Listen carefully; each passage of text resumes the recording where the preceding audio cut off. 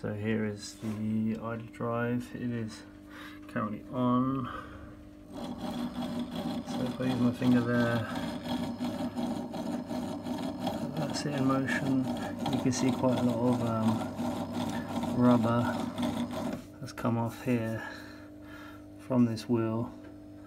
So um, it's obviously uh, perished quite a bit. And I guess if it could spin there like that then it's much quieter.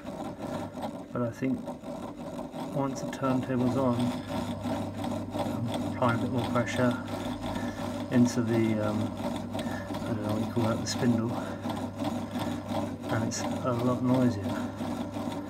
So I guess if it, if it was there barely touching that makes a big difference. And the more pressure that's to the spindle, the noisier it is.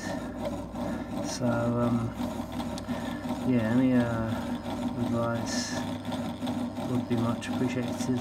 And also, oil here. Uh, what kind of oil do I need to put in that? Regular bike oil? Probably not. Um, yeah, any advice on that? Also appreciated. Thank you.